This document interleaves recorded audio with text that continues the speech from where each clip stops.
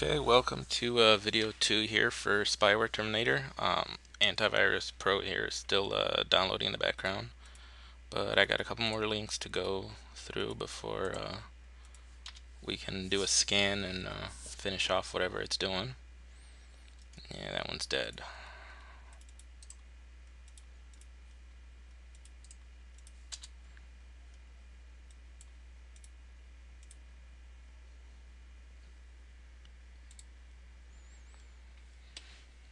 And I got another thing from the HIPS here popping up asking uh, if the installer is allowed to run. We'll let the installer run. And I think this last one's dead, if I remember right. Yep.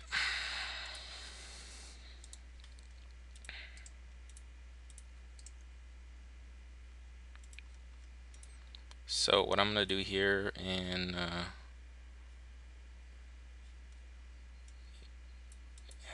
trying to save time is I'm going to pause the video one more time and let the Antivirus Pro here download because it's running off a very slow server and it's taking forever. So I want this one to install and see if it catches it. So I'll be right back when it's done downloading. Okay the um, downloader for Antivirus Pro just uh, finished downloading. And uh, it's uh, trying to start the installer so let's allow it right now and uh, it looks like it blocked it. Or blocked something some part of it.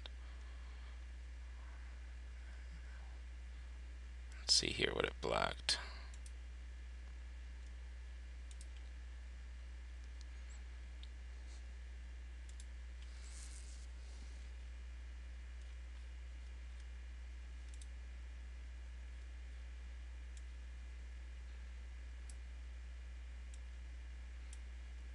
Okay, blocked a uh, security center fraud tool, and there's some stuff in uh, temporary internet files and all that. So seeing as I'm done with uh, the um, the links here, what I'm going to do is I'm going to let it do a full scan and uh, see if see what we find. So I'm going to let this uh, do its scan here and uh, I will be back when it's done scanning. See you in a second. Okay, so uh, Spyware Terminator just finished uh, doing its scan here and all it found was tracking cookies which kind of disappoints me because as you can see we are still heavily infested by just rogues at least and uh, who knows what else have snuck in with them.